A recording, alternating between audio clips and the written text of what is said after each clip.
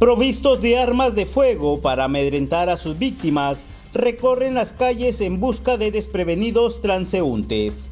En Piura, la delincuencia continúa imparable.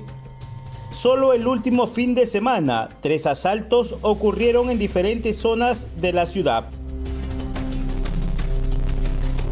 Una pareja camina por la calle. De pronto, aparece este delincuente que los amenaza con un arma de fuego el lampón los obliga a entregar sus celulares y billetera.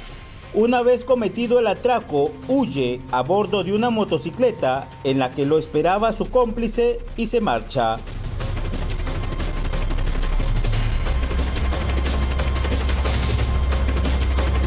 También en moto, dos delincuentes circulan en esta urbanización. Dos jóvenes esperan frente a una vivienda que les abran la puerta. Los asaltantes aprovechan la oscuridad de la zona.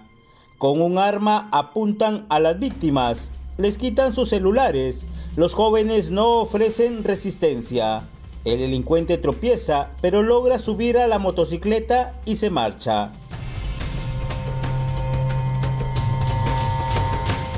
Mientras tanto, en otro sector de Piura, un comerciante que se desplazaba en un motofurgón es interceptado por delincuentes en motocicletas.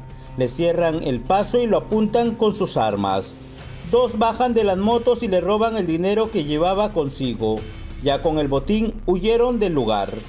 Los videos fueron entregados a la policía que por ahora no ha logrado detener a los autores de estos asaltos.